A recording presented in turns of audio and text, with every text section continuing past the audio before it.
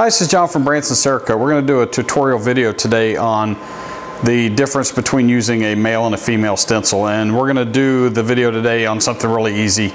Um, a couple of uh, stainless steel tumblers. So uh, what we have are um, an Imperial Army uh, mug we're going to do that's going to be primarily stainless steel that we're going to actually be using uh, female stencils on to where the image is going to be sandblasted but the rest of the mug is going to be stainless steel. And then we've got um, a uh, Rebel Army mug where the stencils are going to be on there and then uh, the uh, rest of the mug is going to be coated. So the, um, the, the lettering on the script is going to actually be stainless steel. So we're going to take a minute to uh, go ahead and prep the, the Rebel Alliance cup and then uh, we'll come back and show you how we do the Imperial Army one and, and, walk you through that step by step uh, as far as the process that we use. We're by no means the experts or, you know, this is the process you have to use. These are just pro the process that we use in the shop that work for us. So if these tips help, great. If they don't, whatever you're doing is probably works fine. All right, we'll be right back. All right, so we've already degreased this with acetone, and, and all I do with the uh, degreasing on these mugs is, is especially is uh, I'll just get a piece of paper towel, water it down with a little bit of acetone and just rub it really, really well. Um, the stainless steel tumblers, it's not as critical as uh, it is with like a firearm or something where you need to just really, really soak it um, to get all the, the, grease out of it. Um, you know, firearms even brand new coming from the factory are gonna have that gunk in them that, um, you know, they pack these things in when they're manufacturing them. Um, and all that has to dissolve. These stainless steel tumblers, really smooth surface. They don't retain oil that, that much. Um, we just wipe them down. Um, I've gotten questions before too about, well, you're touching that surface without gloves on. Uh, I keep my hands clean when we're here in the shop and we're working. Um, messing with tape and stencils and things like that uh, is an absolute pain. Um, it's not that critical. Um, you'll hear people talk about don't touch that, don't touch that, don't touch that with your bare hands because the, the oil's on your fingers. If you're that worried about it, um, especially with the projects that we're doing with these mugs, the, the parts that you're touching are, are going to be underneath the stencil anyway. They're not even going to be coated with anything. So it's just not that critical. If you're worried about it later on, take another little bit of acetone on a rag, wipe down the rest of it. These stencils that we sell um, are all made out of Avery Dennison um, high heat paint mask, the SF 100-235 you can wipe acetone on it. It's not going to hurt it. It'll go through the sandblast cabinet. Uh, we sandblast these uh, tumblers at about 40 psi, but we've put our uh, Avery Dennison stock in at up to 90 psi and never had an issue with it. Um, you know, the, the paint mask that we use um, is chemical resistant, heat resistant, uh, goes through the sandblaster. It, we've put solvents on it. It's just really good material. Uh, works really well for heat cure as far as uh, Cerakote goes, uh, or air cure, you know, Duracoat, Krylon, the C series for uh, Cerakote.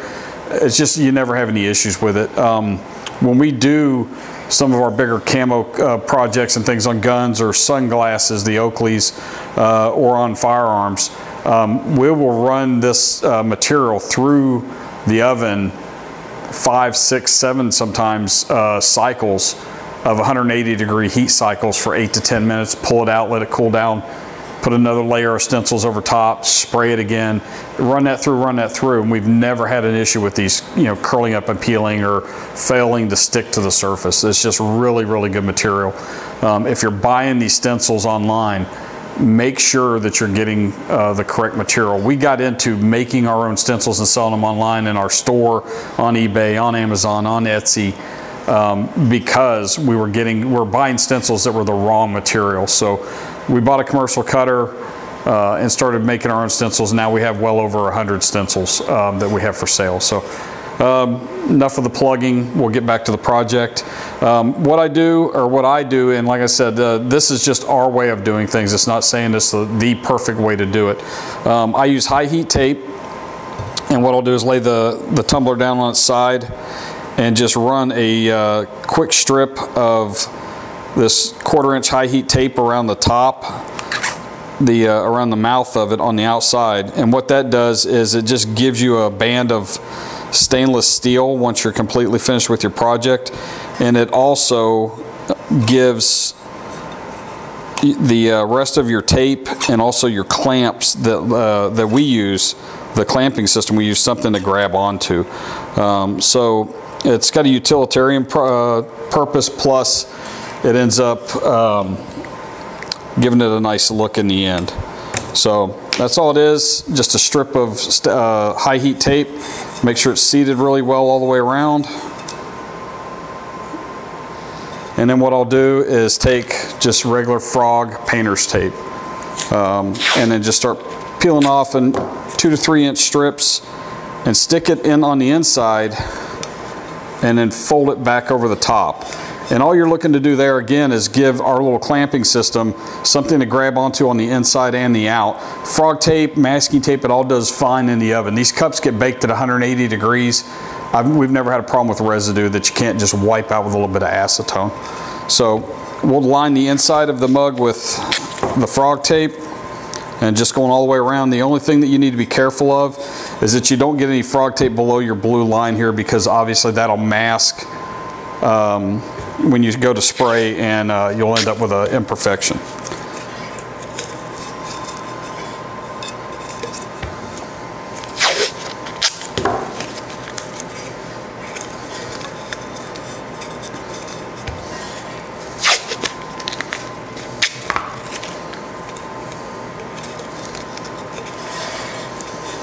Okay, so that's taped all the way around. It doesn't need to be pretty. It's, you know, this is just utility. It's not anything that's going to have to do with the finished product. Now what we did, um, and we've we've seen the inflatable bladders, we've seen people just stuff these with a, a, wooden wedge and hang them that way. We've seen people spray them upside down. For us, what just works the best is what works the best for us. Um, I went to our local place, it's sort of like Harbor Freight, it's got a lot of cheap tools, and bought these little uh, uh, rubber tipped clips uh, for 25 cents a piece. They've lasted for months. Uh, when they start to wear out, uh, I throw them in the trash, I buy more um, with just a little length of wire in between them. What I normally do is I'll find the logo on the, the tumbler and put one of them there, making sure that you don't go below the blue line and then put the other one opposite. And what that does is it just gives you an area when you go to put your stencils on, the logo will be offset so that you don't end up, you got more of an area when you go to put your, uh, your stencils on. And then from there, I just take normal masking tape and tape off the mouth of it. So I'll go ahead and do that. It's um, pretty boring, but just bear with me. Tear off about a three to four inch strip and same thing, all you've got to worry about is that you don't get any tape below the blue on the other side. So if you end up with a little tail, just tear it off. And then what I do from there, again, two or three inch strips, lay them on their side, and fold them over.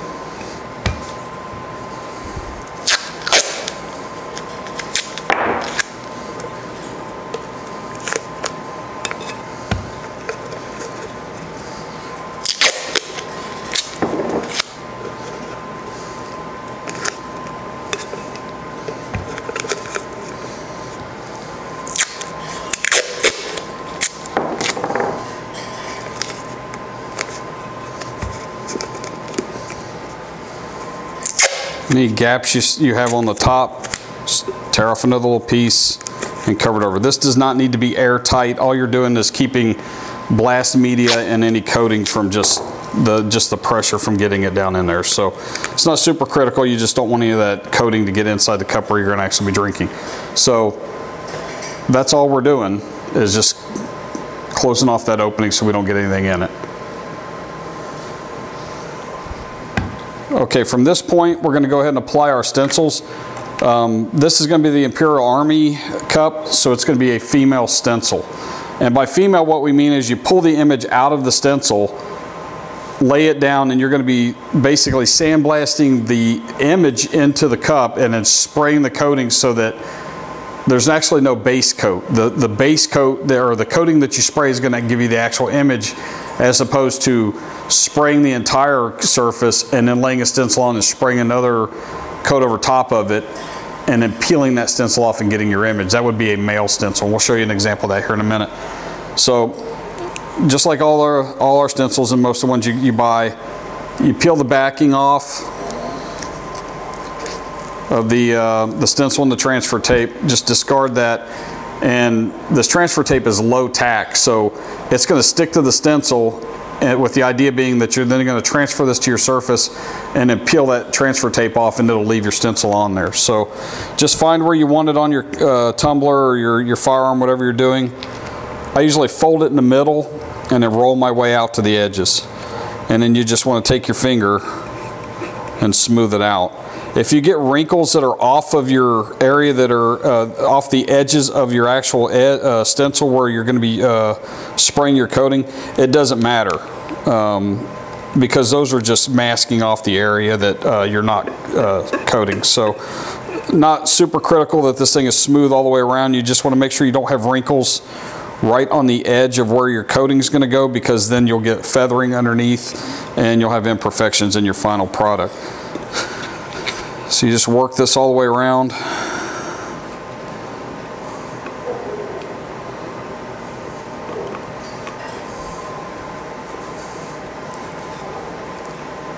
And you'll see what I mean. You know, there's a couple of wrinkles and a couple of bubbles, but these aren't on this inside edge where the image is actually going to be. So they don't matter. Um, you know, it doesn't have to be perfect.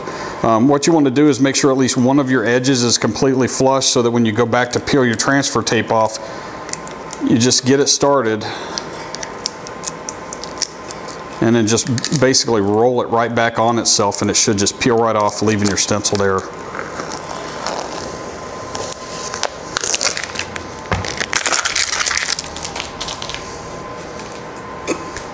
And if it pulls up at all, just smooth it back out with your finger and that's what you got. All right, we're gonna go ahead and um, shut the camera off for a minute so you guys aren't bored with just basically putting masking tape all over this thing. I'll come back, I'll show you this, and I'll show you the Rebel Alliance one that we already uh, prepped, and then we'll be ready to go in the sandblast cabinet. All right, so we finished taping this off, um, and like I said, all we did was basically mask anywhere where there was um, naked stainless steel, we masked off with just regular, you know, masking tape. So um, your end thing is uh, basically just to cover all that up. So what we're going to end up doing is sandblasting just the image and the text on the back and that's all that's going to get coated. So in the final result of what we're going to have with this cup is um, just those images Cerakoted the rest of the cup will be stainless steel and then we'll, we'll clear coat over that. Um, the other cup we're doing is going to be a Rebel Alliance cup and all we're going to do stainless steel on that one is the text on the back. So uh, we've gone ahead and put that on there and the rest of this cup um, we didn't tape off because obviously this entire cup's going to get sandblasted. We'll coat that, and at the very end, we'll peel those stencils off, revealing the stainless steel underneath. Um, real quick before we throw these in the cabinet, um, I did this cup, um, and you'll see these. Um, other people do them. We're not the only ones. Um, but it's a red, white, and blue tattered flag. Um, and this one particular one's got our logo on or our uh, web address on it. Um, I, I, take this to gun shows. I drink my coffee out of this every morning. Um, if you guys would like to see a tutorial on doing this one, it's pretty in depth and there's a lot of little tricks and techniques to it. Uh, just leave us some, some, comments at the bottom if you'd like to see that and we'll do it. Otherwise, if you know you think, hey, I got that, I'm not going to worry about it, then we won't worry about doing a video. But if you would like to see how to do this one, let me know and I'll, I'll do a tutorial on that. So we're going to go to the sandblast cabinet. Uh, we're really not set up with the camera we have to, to film inside the sandblast cabinet where you'd be able to see. Otherwise, it's just a bunch of clouds. Um, we sand these at 40 PSI with uh, 100 grit red garnet. So um, nothing really to see there. You just want to go back and forth and have an even pattern. Uh, don't stop on one spot or you'll, you'll burn into the metal. Just even strokes all the way across and all you're looking to do is just rough this up. So we'll go do that real quick. We'll come back and show you what they look like and then we're going to hang them in the booth and spray them. All right, so we just wanted to uh, show you the difference, uh, visually show you the difference between, you know, what they're gonna look like when they come out of the sandblast cabinet between, you know, a new one that's unsandblasted and everything um, to one that's sandblasted and ready to be coated. So um, at this point, we're gonna mix up uh, some coating. We're gonna be doing uh, graphite black, uh, forest green, and probably some uh, sage or maybe desert verde uh, on the other cup. So we'll figure it out as we go along, but we'll show you uh, the steps in the booth and show you the end product here shortly. All right, so on the Rebel Cup, what we've done is uh, sprayed a base coat of burnt bronze. Uh, went ahead and put the uh, Rebel Alliance logo on there and then sprayed Desert Verde over top of it. And the only other thing we're going to do with this cup is uh, take our graphite black, which we already have mixed and loaded in the spray gun, and do some burlap effect on it. Um, you just take a piece of burlap and just stretch it and pull it in different directions. It just adds a kind of a cool hash mark. Um, I've talked about this in another video. Um, the closer you get, the darker the effect, the further away you get, the lighter the effect. Um, and, we're not going to do the entire cup, we're just going to do little spots here and there. So I'm going to turn the booth on real quick. Uh, should still be able to hear us, and we'll get going.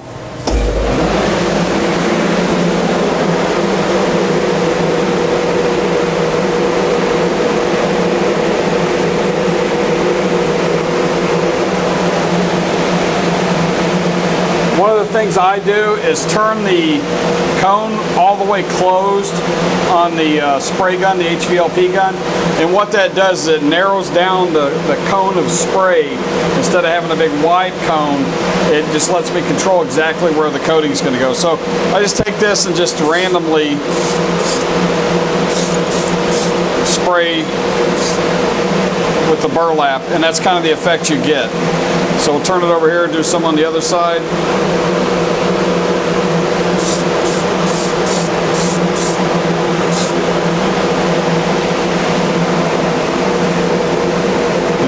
Bit on the bottom.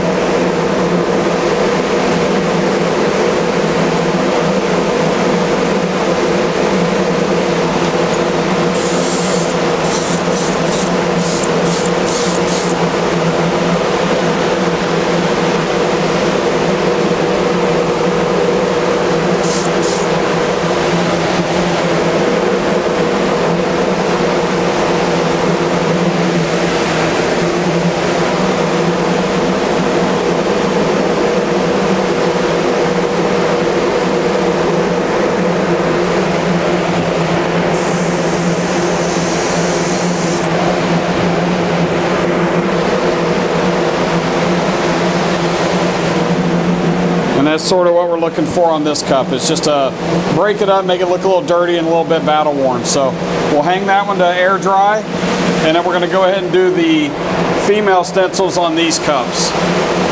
So again, all you do, I turn the volume way down because there's no sense of wasting all that spray. And all you're wanting to do is just add enough in here so that when you peel all the stencils, you have the coating covering the, uh, the area that you've got. So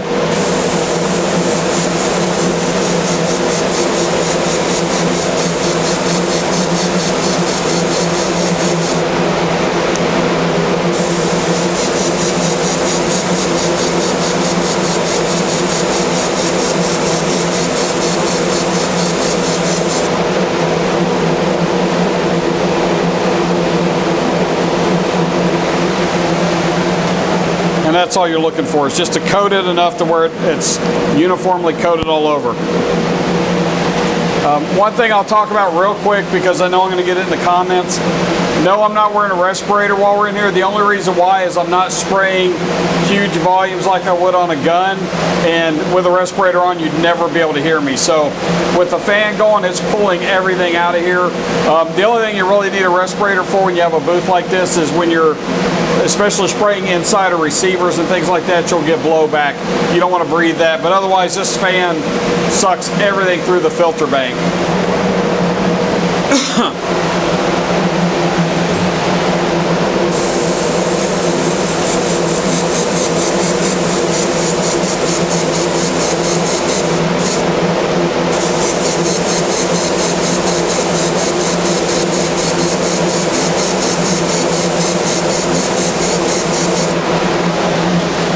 That's all there is to it. We're going to pop these in the oven for the uh, two hour bake at 180.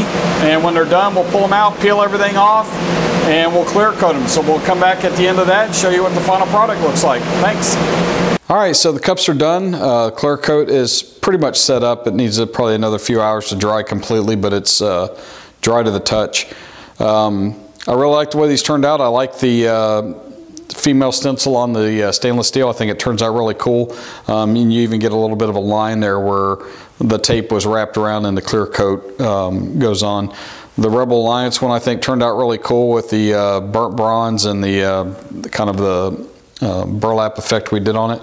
Uh, we're probably going to go ahead and put these on eBay and just see how they do. Um, we don't really sell a whole lot of cups on eBay, but thought, what the heck, with uh, Star Wars being real popular, we may give it a try. Uh, if you have any questions, you can contact us. Uh, our contact info is on our webpage, bransonCerakote.com. Our e email and my phone number are on there. Do not mind answering questions. Uh, just give us a, a shout and uh, we'll get back with you as quick as we can.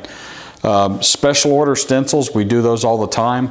Uh, same thing, just shoot us an email. If you have an image, we can more than likely make a stencil out of it. Our store is also on our website. Um, you can order any of these stencils, plus we have close to 100 stencils on there. Um, and they're all reasonably priced. We have free shipping. Uh, check us out on YouTube, Facebook, our website, uh, Instagram, and Pinterest. Thanks for watching.